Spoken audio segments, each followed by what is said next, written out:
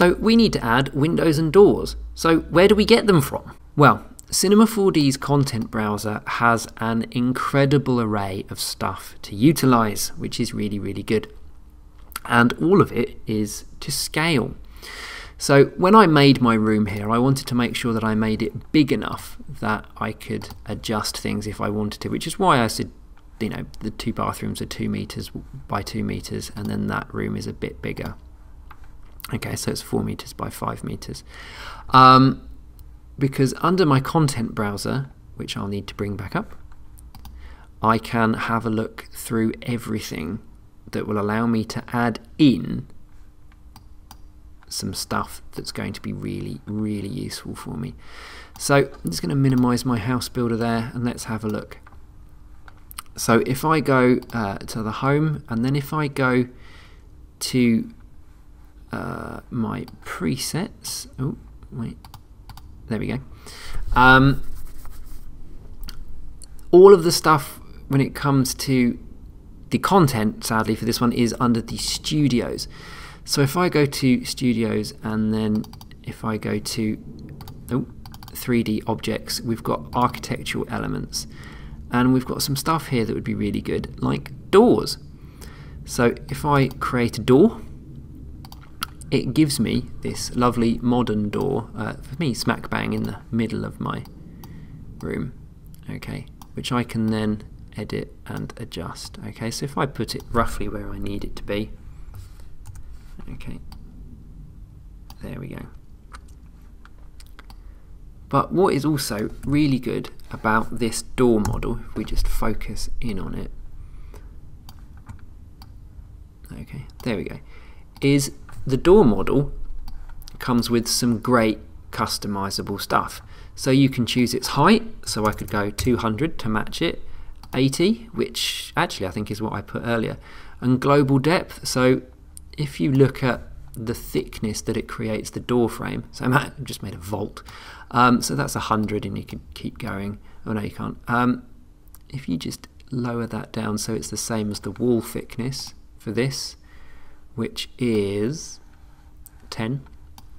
There we go. If I get that and change that to 10, okay, I should be able to move it around so that it matches. Okay, that gives me the absolute thickness, so it should be exactly the same. Whereas we've got the ability of having a door frame here. So if I made it 15, can you see there's this inner distance, which is quite cool. So what I'm going to do, I'm going to do that so that it matches that inner distance. And there might be some tweaking required. So just sort of getting up close, moving that so that it's definitely in there and then looking the other side and just shrinking it. But it's there, which is really, really cool. So you've got frame depth, which you can increase or decrease. Uh, you've got frame width, so if you had a, you know, you want a really big architrave around the outside or a smaller architrave around the outside, you can increase its rounding. Okay, you can do its offset, so depending on where that door actually sits. Um, you can choose which side the door opens from, and you can choose how open or closed that office door is. Let's make it 90 degrees. There we go. So you can customize where the handle height is, you can customize its offset into the door, okay, and you can increase or lower its scale depending on what you are after. It's it's brilliant. Okay, so there we go. We've just added a simple office door into there, which I think I'm going to copy and paste a few times uh, so that we can sort out our office. So I'm just going to rotate that 90 degrees and using my top view I'm going to move it over to there. I'm just going to turn off my physical sky so it gets that out of my way. There we go. So that door is going to open inwards into my building, into my toilet.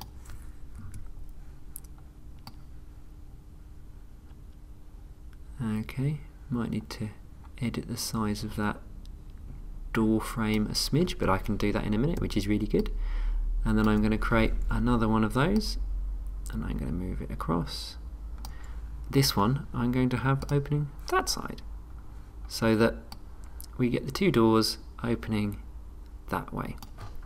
And now if I just go to my house builder, I just need to adjust whichever one it was that did that toilet door. There we go. Can you see how simple this is just to kind of put this together? So I might just increase that width a bit. So 83, 80, ooh, 8. It's a very, very tiny door. 83. And then scooch that one over so that it definitely sits within that frame. Isn't that brilliant? Okay, and we've got some doors in there. Now, if you may have noticed, in my content browser, okay, which I'll bring back up, we have some other things under the um, studio, and then we've got 3D objects, architectural elements, windows, okay, which is brilliant because this will allow us to add in some obviously windows to our work. And you can see here quite quickly we've got a spiral staircase we've got a straight staircase that you could have up depending what you're going to do and we've got some blinds but definitely with the window I'm just going to double click that and I'm get rid of my content browser and then I'm going to find what it's done with my window there we go Woo! it's created me a really big window but can you see here, again, we've got customizability. So I can change its width and its height so that they're 80 and 80. And I know that that should fit in my window hole, frame, sill. Window hole? Not sure. Window gap. So if I just focus in on that, there we go, we've got our thicknesses and we've got our windows here so that the frame sits inside here we go. And if we just zoom in on that, ooh, maybe perhaps we should get the height right first. There we go. I mean, you may want to increase the size of it. It might be worth, you know, changing things like that. So you've got bottom hinges, so you can have the side open. This is, a, you know, this is absolutely incredible to just simply have in Cinema 4D in front of us. So there we go. We've got this window which just sits within its frame. Okay, and let's have a look at some of these sort of settings. So inner offset, so you can choose how big that sort of outer inner frame is. Vertical opening, so you could have it open if you want. You could have the bottom hinges. Okay, um, instead, so you've got a horizontal opening distance. So it could be one of those sorts of windows. I quite like it uh, working that way. So let's open the window a tad.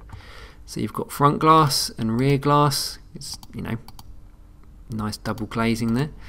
Um, the number of dividers. So if you want to sort of make it really oldie worldy,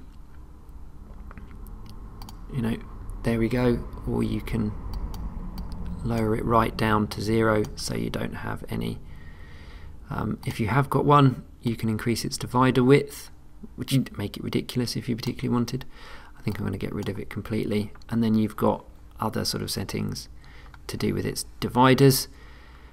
Handle position, so if you wanted it to be there, or if you wanted it to be lower down so it'd be easier to open.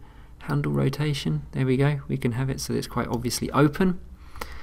And it's, it's all there, it's all really there for us um, and easily configurable in such a brilliant fashion. Now I can copy and paste that or maybe I'm going to make some instances so that they will all do the same thing um, without any problem whatsoever and I don't have to worry about you know changing them all. Maybe if you wanted to do a variety of different windows it's entirely up to you. Um, if not then just stick to what you've got, stick to this, stick to the instance and it saves you having to worry about producing more and more and more of them so there we go, we've got two windows there straight away. And now with those two selected, I'm going to command drag two more, which I shall rotate 90 degrees, and then I shall move so that they're roughly along that wall. And then I'll have to tweak them individually. So what have we got here? So if I just press O on my keyboard to focus them into the wall, so they're in the middle of that. And then I go to my end view, which for me was F3.